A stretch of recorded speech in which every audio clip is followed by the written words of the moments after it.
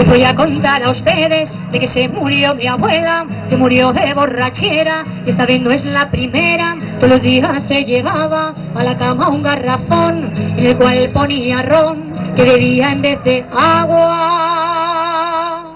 La víspera de morir me dijo de esta manera, acuérdate de tu abuela, que te deja un capital, si lo sabes conservar, como lo conservó ella, ahí te deja una botella llena de zarza parrilla, cuatro bancos y una silla, el cuello en la calavera también te deja un borrico.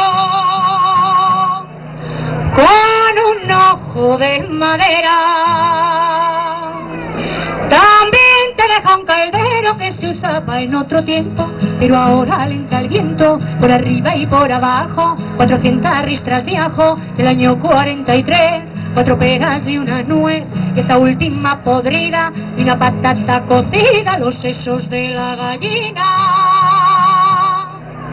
Y de la mula la cola. Para que te cases, que celebres bien la boda, a la novia también dejo una falda y media en agua, la camisa sin faldón, porque ese se lo quité para colar el café, porque colador no había, y una pequeña bujía, que esa es de San Francisco. Una taza de rapé, herencia de mi tío. Y cuatro espadas sin punta buenas para un desafío. La cama de matrimonio te la dejo como nueva. Me falta la cabecera, cuatro patas y un tornillo. El mango de molinillo para que hagáis el café. Una docena de platos, todos rotos, menos tres.